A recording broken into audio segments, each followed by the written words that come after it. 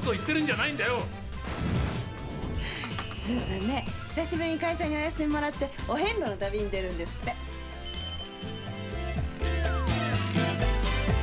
おだ大丈夫なの？まままああ大事なことは結果です。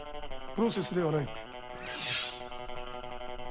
休暇届浜崎伝助理由魚釣り女房でも死んだんならともかく魚釣りとはなんで魚釣りだ君が首謀者か？ですねむしろ俺被被害者ですね。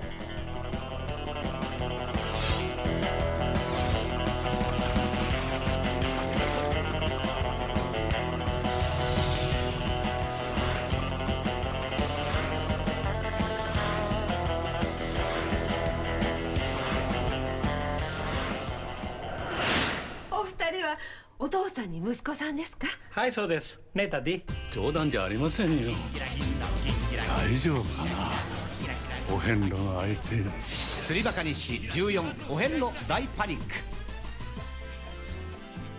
今ならこの扇子付き前売券がなんと1000円。超お得。 Good sense。じいちゃんばあちゃん父ちゃん母ちゃん誰が見てもたったの1000円